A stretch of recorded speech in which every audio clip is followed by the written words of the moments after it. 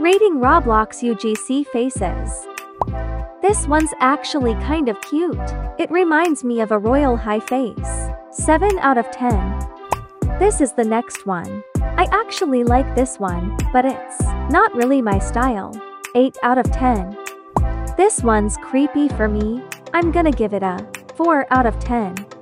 This one looks like a Mugalo face. I hope I spelled that right. 8.5 out of 10.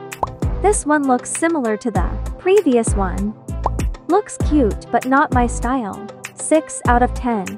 Pretty but it would probably look better with some other clothes. 7 out of 10. Wait wait wait. I'm doing a 400 Robux giveaway if I reach 1000 follower on Instagram. Anyways bye loves.